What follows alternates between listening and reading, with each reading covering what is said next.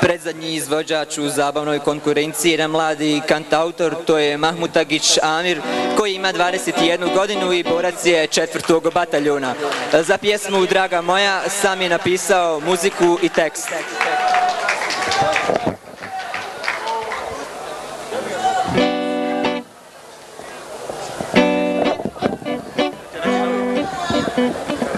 I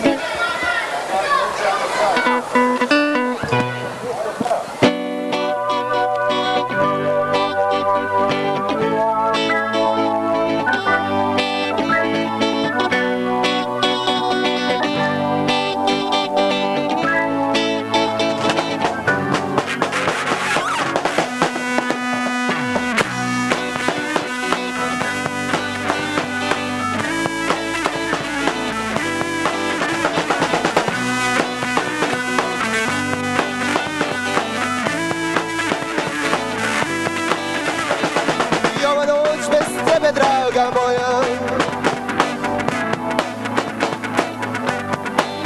draga moja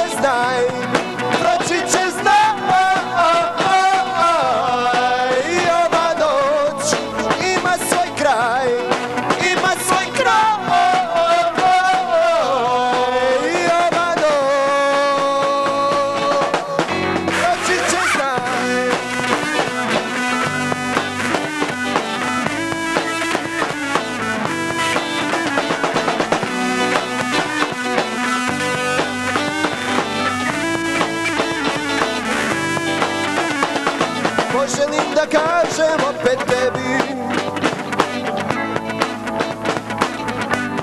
Srećo moja. Samo tebe treba pored sebe.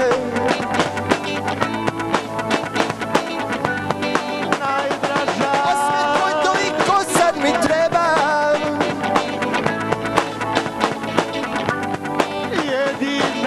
Tebe treba pored sebe.